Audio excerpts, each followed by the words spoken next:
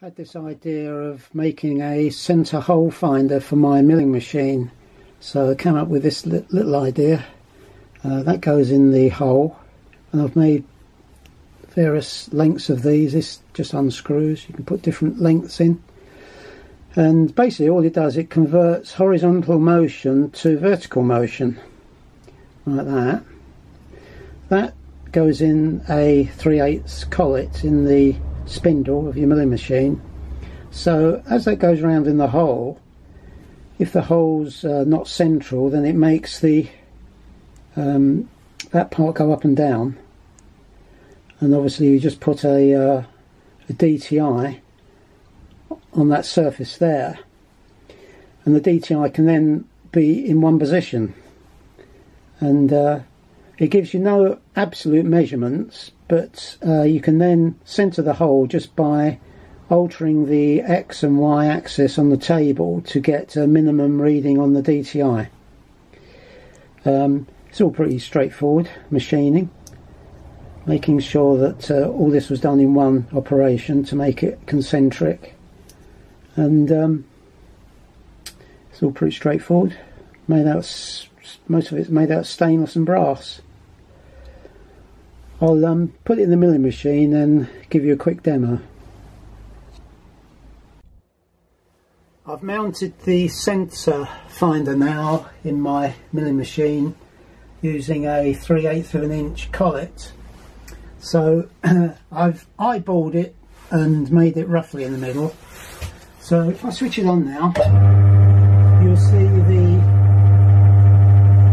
DTI going up and down, so that's actually going up and down.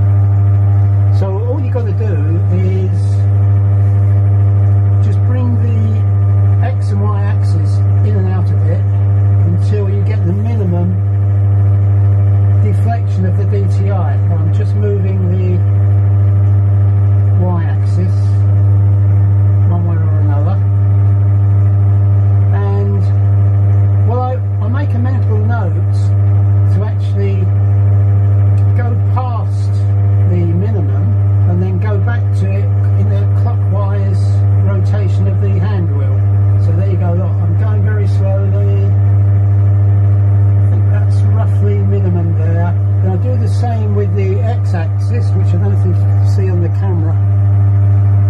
So I'm bringing the x-axis in until it reaches near enough a minimum, go past it, then back again, take up, take up the backlash, then go clockwise again, minimum there, do again with the y-axis, go past anti-clockwise then clockwise, an hour for minimum. Again, the x-axis, clockwise again.